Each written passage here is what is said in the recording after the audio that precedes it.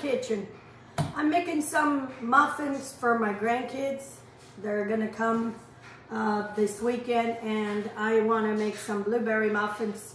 It's one of their favorites and so um, that's what I'm gonna do, I'm doing right now. In here I have four eggs. This is a big quantity for um, blueberry muffins. I have four eggs, uh, two cubes of butter, and two cups of sugar.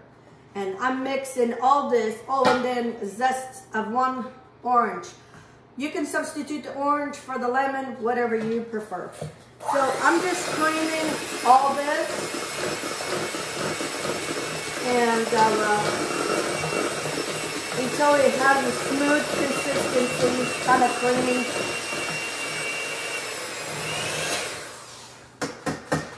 So anyway, so uh, like I said, I was just thinking, I thought, oh, I don't think I have a video blueberry muffins. I like to have a large quantity in the freezer so that way when they come, I always have something for them, especially in the breakfast because they're very picky eaters. So, and I have here four cups of all-purpose flour. And now I'm gonna put uh, four tables, four teaspoons of baking powder. One, two, three, four. So, and then I need some salt. I need one teaspoon of salt. Uh, I'm gonna zest this orange.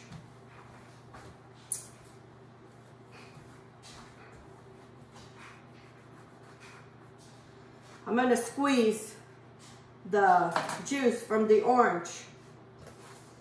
These are my in-laws. They got a bunch of oranges, delicious oranges. So I sometimes make with lemon, but I had some oranges, so I decided to make with oranges. We can buy blueberry muffins. I sometimes buy it at Costco, but those are so big and they prefer the ones I make. So anyway, so now I'm gonna mix this.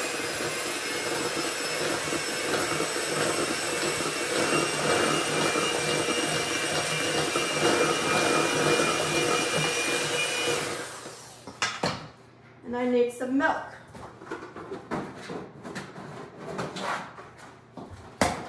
I need one cup of milk.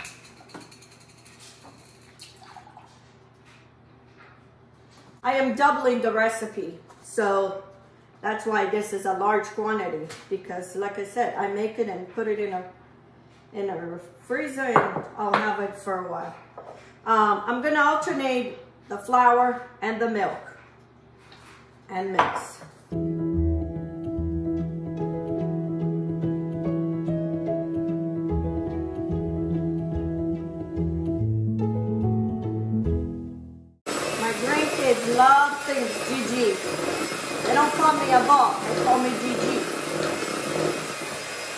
So they love stuff Gigi makes. Sometimes it says, I want stuff Gigi makes. So I try to make stuff for them.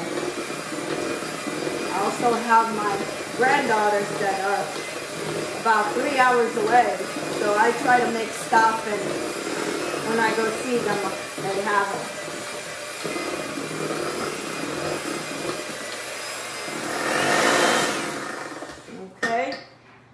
So this is done. And now I'm gonna mix it, the rest by hand. Helping fold the rest of that flour. You don't wanna beat too much this with your mixer because then it makes a tough dough. I need blueberries.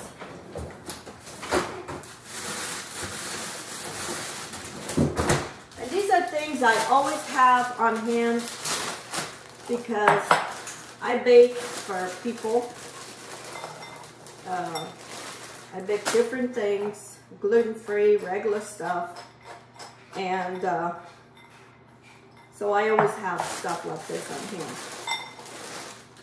what I did, I left some of the flour in this bowl.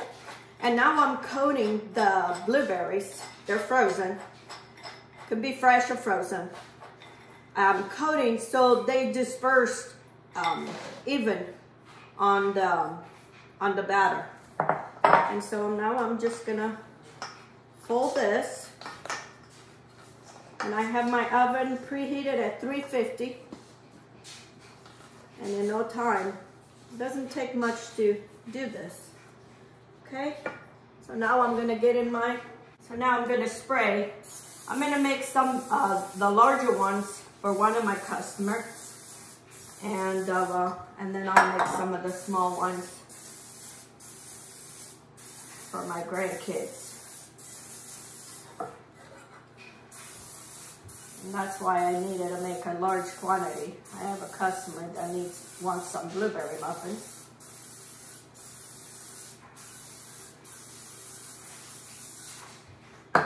Okay. Now I need my large scoop.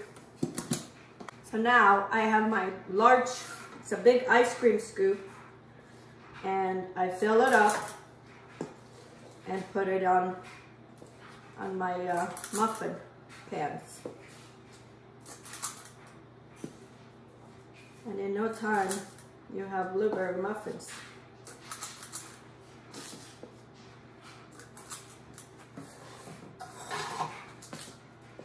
Why I, I always try to make a large quantity because even, even if I put in the freezer, there's always somebody at the last minute wants something of my customers, so this way. And these have a little bit more flavor than the ones you buy in the stores.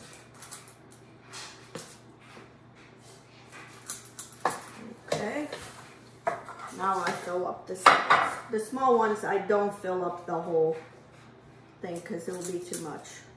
So just halfway.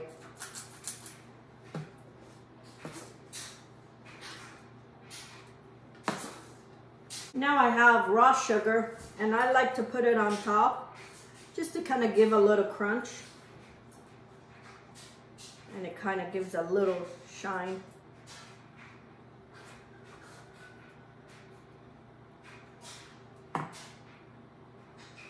These will be so much better than the ones you buy. You know what you put it in. They'll have so much more flavor because you can add or lemon or orange. So now I'm gonna bake these for probably about 20 minutes uh, at 350. Okay friends, here it is my blueberry muffins. These are the big ones that I did, that for my customer. And these are the ones for my grandkids. It's a perfect size for them. If you give them a big one, they're gonna waste. So that's why I like to make instead of buying. And I know what I put it, I put in, and it has more flavor than the ones you buy in the store. So I try to do, uh, always have some for my grandkids. And these are so good. The top is crunchy from the sugar. And then you have the, look at that. Look how nice that look. It's still hot. I just took out of the oven. And this with a cup of coffee in the morning. And it is so good. And this one has orange. I like the lemon too, but I like the orange. It's kind of different. But anyway, I just thought I'd share what I was doing because I, I remember I didn't think I had a video of blueberry muffins. Um, these are things that we learned when we came here and um, I know a lot of people like want to hear, want to see uh, Portuguese cooking. But like I said, I don't always cook just Portuguese food. I cook American food, any other kind of food. So um, anyway, so I just wanted to share with you and uh, give it a try. Next time you have your grandkids or just make a batch. Always have some in the freezer. When you want, just pull it out. And you have a nice breakfast or even a snack. So anyway, give it a try. And give me thumbs up. And if you haven't subscribed, please subscribe to my channel. And don't forget to click on the bell so you get notific notifications when I put new videos. And until next time, let's get cooking. Have a good day.